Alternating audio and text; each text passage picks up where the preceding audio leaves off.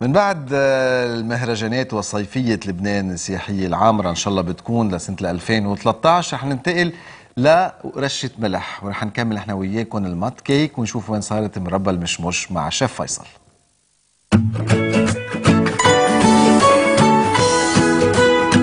عن جديد صباح الخير وأهلا وسهلا فيكم. نحن رح نكمل هلأ مربى المشمش اللي هي صارت آه، جاهزة. آه، تقريبا بعد ما حطينا نحن حمض الليمون بس لما يكون المشمش منه مستوي كتير أكيد في أسيد الحامض فما بنكتر له. لحط آه، شوي وأكيد نحن عم نستعملهم دغري ما عم نحطهم بال- بالمطبخ بالخزانة أو بغرفة المونة. آه، فينا نحطهم بال- بالبراد وفي طريقة بس نحطهم بالمرطبان ندوب شمع ونحطهم على الوجه ما بيعودوا يعفنوا. كمان الطريقة الأهم ليه بيعفن بيعفن لأنه بتضل المي فيه بتضل الرطوبة فيه والمي هي بتخليه يعفن. نحن بس ننشفهم مزبوط ما بيعود في حاجة إنه آه، ي- أكيد ما بيعفنوا يعني بس الأفضل نحطه بحرارة الغرفة اللي هي 24 أو في ناس بتحطهم بالبراد. ونسبة يعني طريقة الاستواء رح فرجيكم شغلة إنه ثلاث مراحل قلنا. هون إذا بنشوفها على الكاميرا بعدها هيدي بعد تقريبا شيء من بعد ما أغلت شيء 10 دقائق هون بلشت تتكثف وهون هاي النتيجة النهائية. أنا هون حاطط للكيلو المشموش حاطط نص كيلو سكر. في ناس بتحط كيلو بكيلو مشان تحفظهم وقت أكثر ولكن بيطلعوا حلوين. نحن بنشوفهم كيف كثفوا معنا بعدنا على النار. الحمض الليمون أكيد رح نحلها ب بمي مثل ما قلنا. ومن بعد ما نفككها بمي هون بيكونوا اغلوا نغليهم غلوه صغيره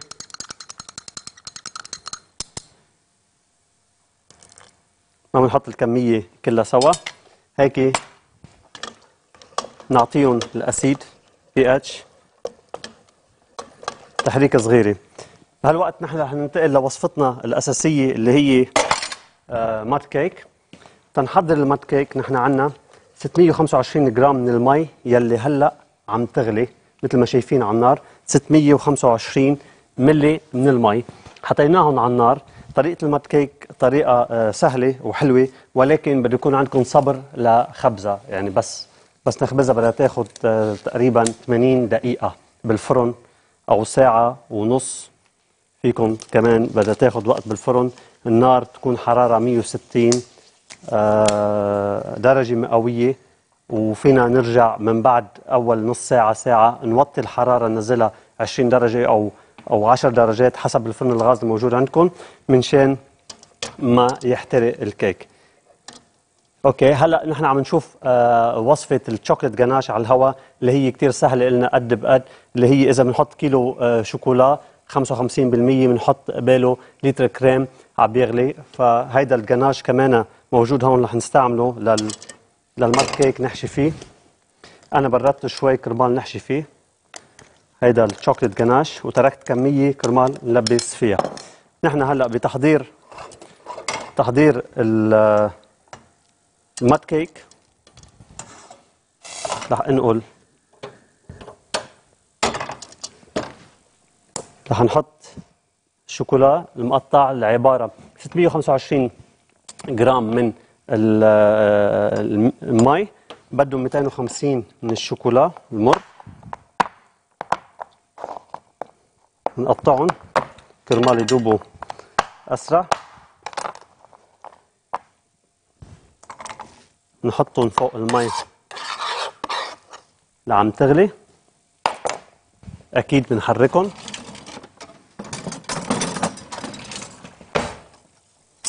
بنحركهم. تيتفككوا مع المي. مثل ما شايفين الطريقة هلأ أكيد رح طفي النار. كرمال ما تحترق الشوكولا. وعلى حرارة المي رح يتفككوا.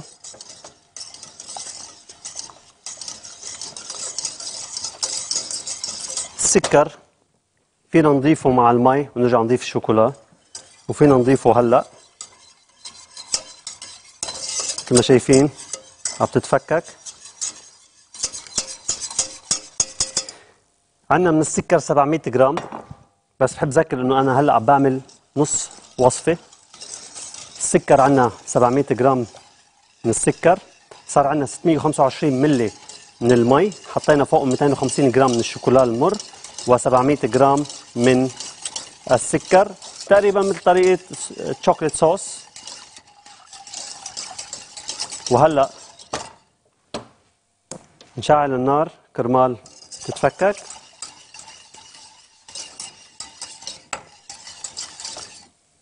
الشوكولا تفكك عندي كتير منيح.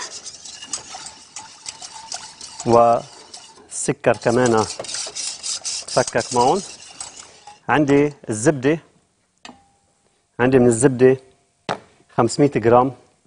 برجع بذكر أنا هون عم بعمل نص وصفة رح 250 تقريبا نسميها كمان طريقة الجناش. كمان مع التحريك تياخدوا بعضهم مزبوط.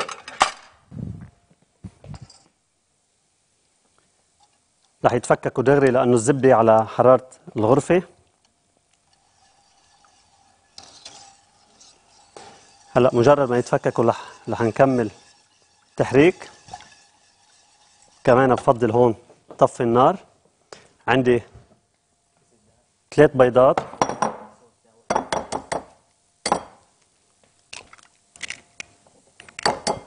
اللي هي بالوصفة ست بيضات. فينا هلا نرجع بعد شوي نعيد نشوف المقادير. حطينا ثلاث بيضات لازم يكونوا لازم يكون خفقهم يعني لايتلي خفيف ما لازم يطلعوا كتير.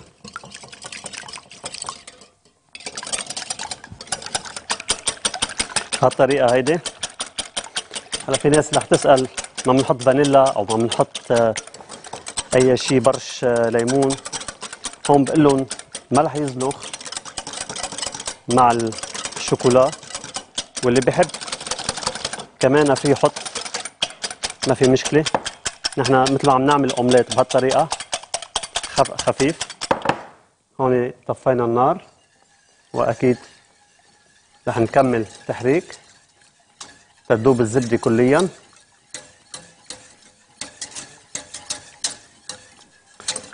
طريقته كتير سهلة. هون صار عنا من من البيض مخفوق على الخفيف. عندي 75 جرام من بيكربونات الصودا 75 جرام. أحط لهم مي فككهم فيهم. وتنكمل خمس- 530 جرام من الطحين 65 جرام من الكاكاو. نحن رح نمزج النواشف كلهم مع بعضهم بهالطريقة. أوكي. بقى في شغلة مهمة لازم نعملها اللي هي إنه لازم نخلهم. هلا. هون مزيج اللي هو مي سكر زبدة شوكولا. جاهز عندي. عندي الطحين كاكاو مع بعضهم. وهلا رح نحاول نمزجهم بالمكنة. رح يكون أفضل إنه نمزجهم بالمكنة.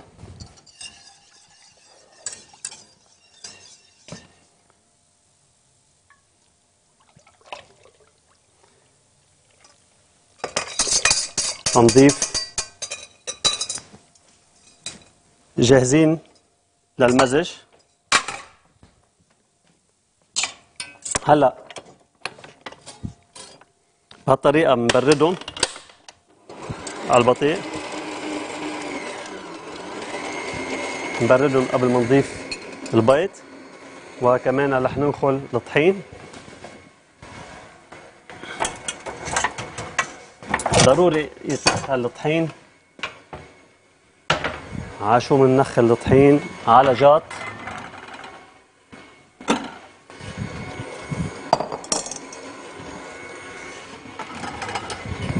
الطحين والكاكاو رح يتنخلوا.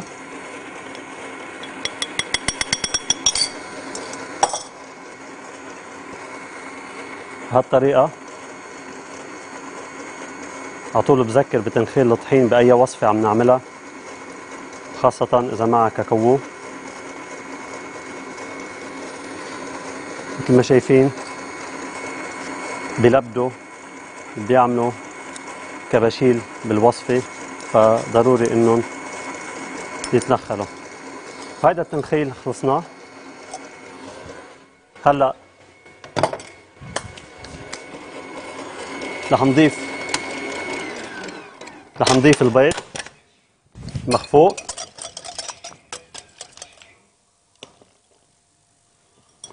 طريقة سهلة. خفقة صغيرة. حركهم شوي.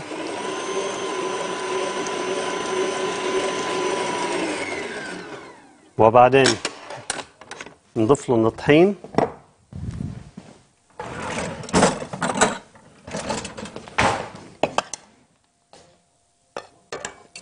ونرجع نمزجهم.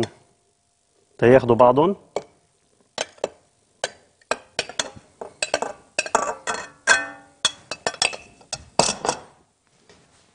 على الخفيف.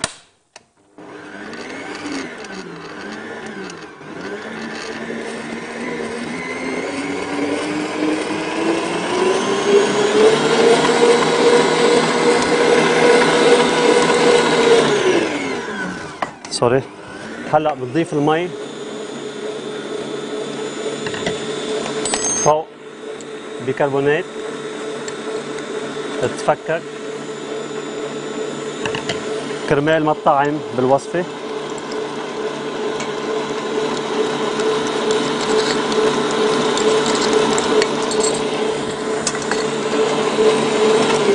صارت وصفتنا جاهزة. بدنا نسكبها بقالب هيدا القالب مجهزينه. رح نرش زبدة قبل ما نروح البريك. نحط طحين. بينما رشوا طحين نروح بريك صغير وبنرجع نكملها.